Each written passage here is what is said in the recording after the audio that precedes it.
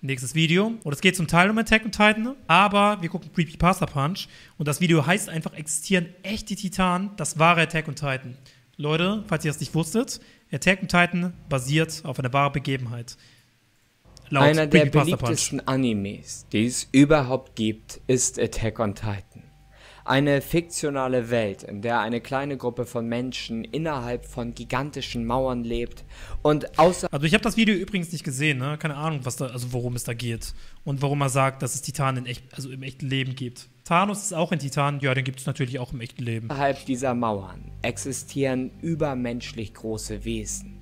Gigantische, nackt aussehende Menschen mit verstörenden Gesichtern riesigen Augen, riesigen Mündern und ihr einziges Ziel scheint es zu sein, Menschen zu fressen. ich finde das irgendwie süß, wie er Titans erklärt. Das auf teilweise sehr brutale Art und Weise. Dieser Anime hat eben schon seit vielen Jahren die Menschen gefesselt und mittlerweile ist er in der letzten Staffel und die letzten Folgen, die es zu diesem Anime gibt, werden derzeit hochgeladen bzw. produziert. Und deswegen. Die werden hochgeladen. Beziehungsweise produziert. Deswegen habe ich von vielen von euch die Nachricht bekommen, dass ich doch einmal über Attack on Titan sprechen soll. Dass ich doch ein Video zu diesem ganzen. Ja, warum nicht? Also ich bin Attack on Titan Fan. Red doch mal über Attack on Titan. Okay. Denn eine Nachricht, die ich bekommen hatte, war, dass es mal vor einiger Zeit das Gerücht online gab, das Attack on Titan, beziehungsweise die Titan. Oh mein Gott, es gibt eine Sache, die hat äh, im echten Leben tatsächlich äh, äh, existiert, aber ich darf nicht darüber reden, weil es halt ein fetter Spoiler ist was mit Attack on Titan zu tun hat und was nicht mal im Anime vorkam. Aber ich würde so gerne darüber reden. Titan aus Attack on Titan tatsächlich in unserer. Oh, guck mal, er hat so ein bisschen die äh, Filmbalken verkackt. Weil eigentlich wären jetzt oben und unten Filmbalken, aber. Tatsächlich in unserer Welt existiert haben. Dass es also tatsächlich früher mal übermenschlich große Wesen gegeben hat, die auch Menschen gefressen hatten. Und als ich dies hörte, fand ich das Ganze aber interessant. Aber dazu kamen plötzlich Webseiten und Fotos, die mir geschickt wurden, die scheinbar das Ganze belegten. Yo. Denn vor einigen Jahren sollen angeblich übermenschlich große Skelette gefunden worden sein. Also es ist wahrscheinlich fake, aber imagine, das passiert wirklich irgendwann. Also in einem Jahr finden Archäologen so etwas. Und das ist einfach real. Wäre schon cool. Menschlich große Skelette gefunden worden sein und das zuhauf. Angeblich gibt es folgendes Gerücht. Es gibt online die unterschiedlichsten Fotos, die Skelette zeigen von Menschen, die teilweise 15 Meter groß sind, teilweise 20 Meter groß und sonst welche Größen dazwischen. Okay. All diese Skelette sollen damals bemerkenswerte dafür? Funde gewesen sein, die dann aber von den unterschiedlichsten Museen. Vielleicht sind diese Menschen auch nur extrem klein. Ja, das waren einfach kleine Zwerge, die haben normale Knochen entdeckt. Besonders aber vom Smithsonian Museum zerstört wurden.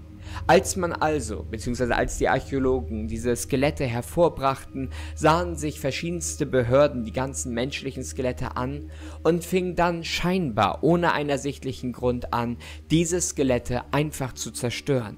Und zwar, weil sie eben diesen Teil menschlicher Geschichte verstecken wollen.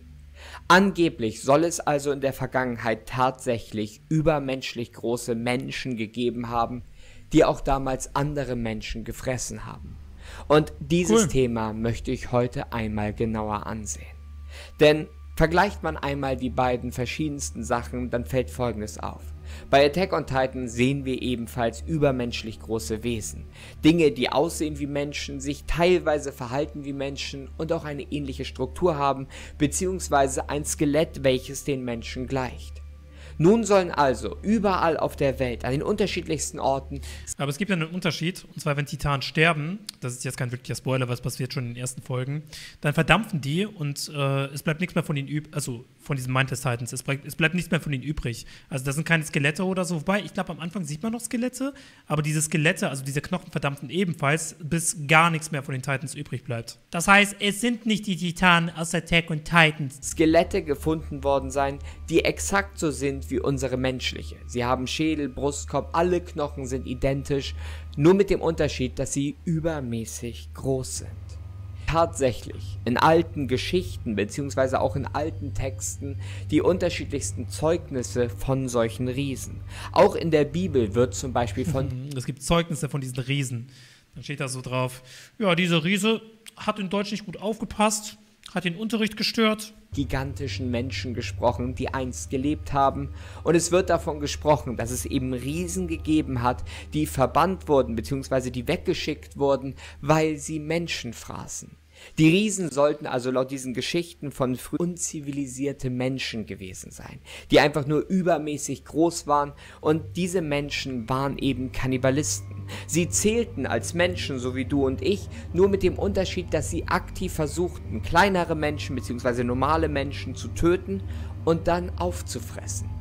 Exakt so, wie wir es auch in Attack on Titan sehen. Auch dort sehen wir eben Titanen, die außerhalb der Mauer leben und versuchen eben die kleineren Menschen, die normalen Menschen aufzufressen und sie wurden eben verstoßen bzw. sie werden weggehalten voneinander bzw. von den Menschen. Es ist also, wenn man sich das Ganze so anguckt, ziemlich seltsam. Und man stellt sich vielleicht die Frage, ob das Ganze stimmt. Denn okay, jetzt bin ich gespannt. Also die meisten äh, Creepypasta Punch Videos enden damit und ich kann euch natürlich beruhigen, das stimmt nicht. Wir haben hier nicht einen Vorfall, wo so ein Skelett gefunden wurde. Wir haben scheinbar Dutzende Bildbeweise, wo solche Skelette aufgetaucht sind. Interessant. Die Frage ist jetzt nur, stimmt das Ganze? Guckt man sich das Ganze aus einer logischen Perspektive an, würde man sagen, dass riesige Menschen nicht existiert haben. In der Forschung wissen wir relativ gut, wie die Geschichte der Menschheit so stattgefunden hat. Wir wissen ziemlich genau, was für Menschheitsformen es gab, wie wir uns entwickelt haben, wie groß wir waren und wie groß wir jetzt sind. In dieser Geschichte der Menschheit und unserer Evolution, wenn man an die Evolutionstheorie glaubt, gibt es keine Momente, wo der Mensch gigantisch gewesen ist. Wir ja, haben true. nicht angefangen als Affen und sind plötzlich auf einmal zu Giganten geworden und dann wieder zu normal großen Menschen. Hm, das wäre aber irgendwie witzig. Das wäre irgendwie witzig. Imagine, es gab damals irgendwie, also es, es gab damals Menschen, die einfach fünf bis zehn Meter groß waren. Mann! Wieso habe ich da nicht gelebt?